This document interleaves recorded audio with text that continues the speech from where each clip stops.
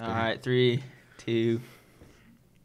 Welcome back, PHSN TV. I'm here today with Kordell Walker. How's it going, Kordell? Good. How about you? I've been doing good. Been doing good. So I hear you rodeo. Oh, yeah, I try to. Tell me a little about that. What inspired you to start rodeoing? Uh, as a kid, watched Lane Frost growing up.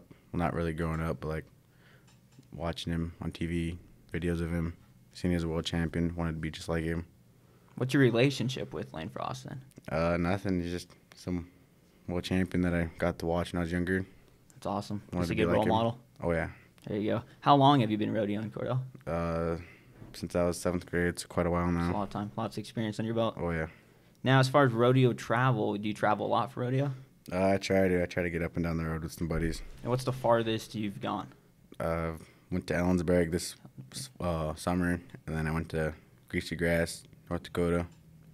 Sweet, sweet. How do you prepare going into a rodeo? Um, just try to stay healthy.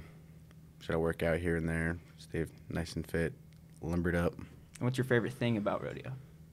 Getting up and down the road with some good buddies, doing what you love, riding bulls, bucking horses. Now, as far I hear a lot of injuries happen in rodeo. Have you had any experience with that? Oh yeah, I broke my right side of my ribs, my left collarbone twice, both wrists, my nose, and a lot of bumps and bruises along the way. Yeah, also. no kidding. Not the recovery time, huh? Oh yeah. And going in the future, what's your plans? I want to buy my PRCA card this December. We'll see what goes on from there.